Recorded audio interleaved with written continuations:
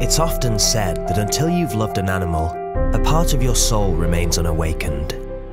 And the bond between a pet and its owner is one of life's great gifts. But when the day comes, how will you deal with the loss of your special friend?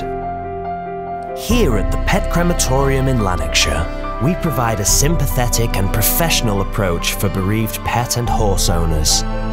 With a range of carefully chosen caskets to mark your pet's final resting place, and the exclusive use of our meeting and chapel rooms, your beloved companion can leave you with care and dignity.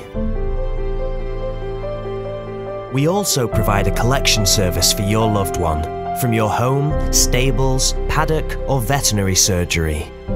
So when it's time to say goodnight, choose the Pet Crematorium in Lanarkshire. Because we care.